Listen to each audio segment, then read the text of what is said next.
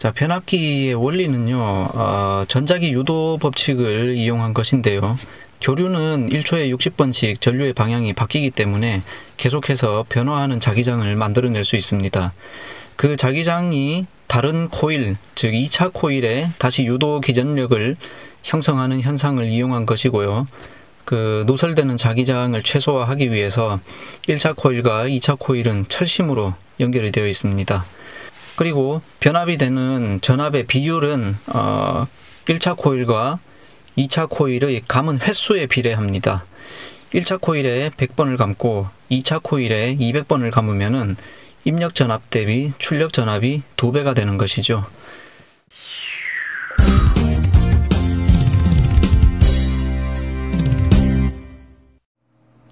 안녕하세요. 럭키세븐입니다.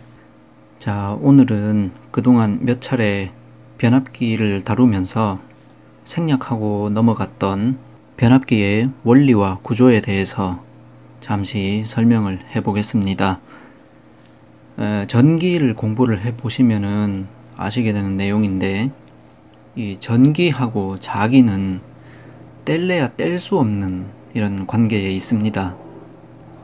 자, 어떤 도선에 전류가 흐른다고 하면은요, 이 전류가 흐르고 있는 도선 주위로는 자기장이 형성이 됩니다. 뭐, 굳이 그 방향까지 알고자 하신다면은 전류의 방향을 오른손 엄지손가락으로 가리키고 나머지 손가락을 이렇게 구부렸을 때 그 나머지 손가락들이 가리키는 방향이 그 도선 주위를 맴도는 자기장의 방향이 됩니다. 이런 자기장은 도선의 어느 단면에서나 형성이 되죠. 뭐 그림을 그리다 보니까 뭐 이렇게 끊어서 분절된 모양으로 그리게 됐지만 그 실제로는 도선의 처음부터 끝까지 이렇게 자기장이 형성이 됩니다. 자 그러면 도선을 이렇게 구부려 보면 어떻게 될까요? 도선을 이렇게 구부려서 고리 모양을 만들게 되면요. 그 고리의 중심을 통과하는 방향으로 자기력 선속이 모이게 되겠죠? 그러면 고리를 한 번만 감지 말고 도선을 여러 번 감으면 어떻게 되겠습니까? 이 자기력 선속들이 굉장히 중첩이 돼 가지고 코일의 중심부에는 굉장히 센 자기력 선속이 모이게 됩니다.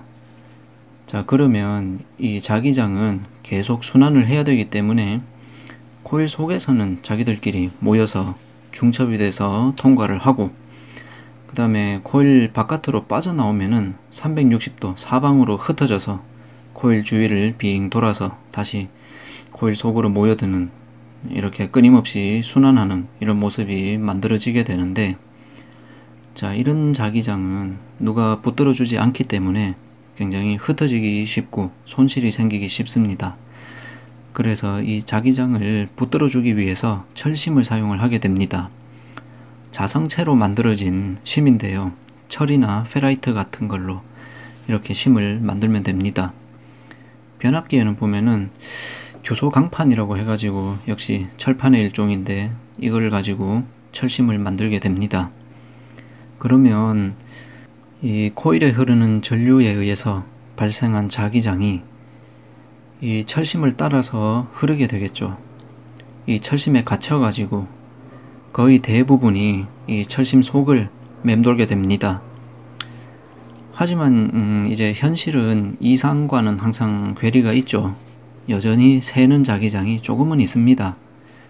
그래서 조금이라도 더 손실을 줄이기 위해서 철심을 이런 네모 모양으로 만드는 게 아니고 반대 방향으로 세는 것도 붙잡아 주기 위해서 가로 Y자 모양으로 철심을 만들어서 거기다가 코일을 이렇게 감아주면은 자 이제 좌우로 균형 있게 자기장이 분산되어 흐르면서 손실이 굉장히 줄게 되겠죠. 그래서 변압기를 보시면은 시중에 구입할 수 있는 변압기는 거의 대부분이 철심이 이렇게 생겼죠. 자, 그 같은 철심에다가 다른 코일을 또 이렇게 감게 되면은 어떻게 될까요? 아까, 아까 전기와 자기는 뗄 수 없는 관계라고 했죠? 자, 전류가 흐르는 도선 주위에 자기장이 생기듯이 반대로 전자기 유도 법칙이라고 해가지고 도선 주위에서 변화하는 자기장은 그 도선에 전류를 유도할 수 있습니다. 여기서 중요한 단어는 변화라는 단어입니다. 변화가 없으면 전류가 유도되지 않습니다. 자, 우리가 사용하는 전원은 교류잖아요. 1초에 60번이나 전류의 방향이 뒤바뀌기 때문에 그냥 연결만 시켜 놓으면은 가만 놔둬도 알아서 자기장의 방향이 1초에 60번이나 변화를 하죠. 그래서 이 같은 철심에다가 다른 코일을 감으면요. 이 코일에 새로운 전류가 유도가 되게 됩니다. 그래서 처음에 전류를 공급하는 코일을 1차 코일이라고 하고요. 그 다음에 새로 감은 코일을 2차 코일이라고 하는데 2차 코일에 전류가 유도가 되죠. 자, 그런데 여기서 잠깐 철심을 이렇게 만들어 놓으면은 철심에 자기장이 흐른다고 했는데 이 철은 도체잖아요. 그러면 이 철심 자체에도 전류가 유도가 되지 않을까요? 네, 맞습니다. 이런 의문을 가지셨다면 굉장히 눈치가 빠르신 분이죠. 철심에 유도가 됩니다, 전류가. 그래서 몇 가지 조치를 하게 되는데요. 아, 그 전에 여러분들 요리하는데 사용하시는 인덕션 있죠? 그게 바로 이런 원리를 응용한 겁니다. 인덕션 플레이트 속에 열어보시면 코일이 빽빽하게 감겨 있는데요. 거기다가 전류를 흘리게 되면은 이 변화하는 자기장이 발생을 하겠죠. 그 위에 냄비를 올려놓으면은 이 냄비 밑바닥 면에 전류가 유도가 되면서 줄열이 발생을 하는데 그 열을 이용해서 조리를 하는 겁니다. 그렇기 때문에 인덕션에 사용 가능한 냄비는 도체로 만들어진 냄비여야겠죠. 도체가 아닌 냄비는 사용할 수가 없습니다. 자, 이렇게 철심의 유도 전류로 인해서 철심 자체가 뜨거워지거나 또 이렇게 철심이 대전돼 가지고 감전의 위험이 생길 수 있는데 그런 현상을 방지하기 위해서 철심을 개량을 합니다. 자, 어떻게 하느냐? 철심을 처음부터 이런 두꺼운 심으로 만드는 게 아니고 아주 얇은 가로 Y자 모양의 규소 강판을 여러 장 층층이 쌓아서 철심의 모양을 만듭니다. 이렇게 하면은 철심의 유도 전류가 생성이 되더라도 그 얇은 각각의 판 속에서만 전류가 유도가 되지 판 사이사이는 또 절연을 시키거든요. 그래서 유도 전류의 양도 극히 적어지게 되고 또 유도된 전류가 철판 사이사이를 흐르지 못하게 함으로써 줄열로 인한 손실도 막는 이런 조치를 하게 됩니다. 자, 그러면 또 잠깐. 다 좋은데, 그 코일은 누가 어떻게 감아요? 철심이 이렇게 팔곡선 형태로 생겨 먹었는데, 어떻게 감죠? 네, 변압기 뜯어보시면 알겠지만은 철심이 처음부터 팔곡선 형태로 만들어진 게 아닙니다. 외산자 모양으로 된 철판을 쌓아서 만든 철심을 두 벌을 서로 엇갈리게 겹치게 되는데요. 먼저 원통형으로 감은 코일을 이 매산자 모양의 철심에다가 끼우고 그 다음에 다른 매산자 모양의 철심을 얼기설기 이렇게 결합하면 되겠죠. 그 다음에 얼기설기 결합한 그 아래 위에다가 빈 공간을 또 다른 얇은 철판으로 메꿔 줍니다. 변압기 뜯어보면 다 이렇게 생겼죠. 그러면 조립의 문제도 해결이 되었죠. 자, 변압기는 기호로 이렇게 나타냅니다. 자, 1차 코일과 2차 코일을 서로 마주보게 그리고 중간에 철심을 나타내는 기호로 이런 수직한 평행선 두 개를 그려줍니다. 이게 이제 이상적인 복권형 변압기의 기호가 되겠습니다. 복권이라는 것은 권선, 즉 코일이 복수에 있다는 거죠. 두 개죠. 지금 이 경우에는 1차와 2차. 이때 전압의 비가 어떻게 되냐 하면요. 1차 코일과 2차 코일의 감은 수에 비례하게 됩니다. 전류의 경우에는 반비례하게 됩니다. 예를 들어서 1차 코일을 1000번을 감고 2차 코일을 2000번을 감았다고 칩시다. 그러면 비율이 1대2죠. 전압비도 1대2가 됩니다. 1차 코일에 110V를 넣으면 2차 코일에는 220V가 유도가 됩니다. 전류의 경우는 반비례라고 했죠. 아까 1차와 2차의 비율이 1대2라고 했잖아요. 전류의 경우에는 1차 코일에 흐르는 전류가 2, 2차 코일에 흐르는 전류가 1의 비율로 흐르게 됩니다. 그러니까 1차 코일에 2A가 흘렀다면 2차 코일에는 1A 이렇게 흐르게 되는 거죠. 상식적으로 생각해도 쉽게 납득이 되실 겁니다. 왜냐하면 에너지 보존 법칙을 생각하면 되는데요. 그 손실을 일단 무시하고 보면은 1차 코일에 집어넣은 에너지는 2차 코일에 나오는 에너지와 같아야겠죠. 자, 에너지는 즉 전력은 전압과 전류의 곱으로 나타내어지니까 1차 코일에 투입한 전압과 전류의 곱은 2차 코일에 나오는 전압과 전류의 곱과 같아야겠죠. 그러면 전류의 비는 2대1이 되어야 1대2 비율의 전압과 서로 곱했을 때 같아지게 되는 거죠. 자, 변압기는 구성하기에 따라서 몇 가지 다른 형태가 나올 수 있는데요. 아까 말씀드린 기본 복권형이 있겠고요. 그 다음에 단권형이라는 것이 있습니다. 권선을 한 벌만 감은 것을 단권형이라고 하는데요. 제가 앞서 변압기 동영상 몇 차례 제작을 하면서 중성선 코먼형이다 이렇게 언급을 한 것이 있었는데요. 제가 그때 당시만 해도 이런 단권형이다, 복권형이다 이런 용어를 몰라서 그 생긴 모습을 보고 어, 중성선이 코먼이 돼 있네. 그래서 중성선 코먼형이다 이렇게 불렀는데요.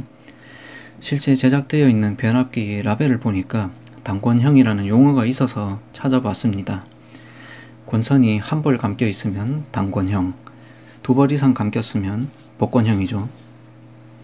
자, 이런 복권형에서 두 단자를 이렇게 코먼 시켜가지고 중성선 코먼형을 만들 수도 있겠고, 자, 밑에 보면은 또 다중 탭, 그 하나의 권선에다가 단자를 두 개만 내는 게 아니고, 그 중간에다가 단자를 한 개나 몇 개 더 낼 수 있는 방식이 있습니다.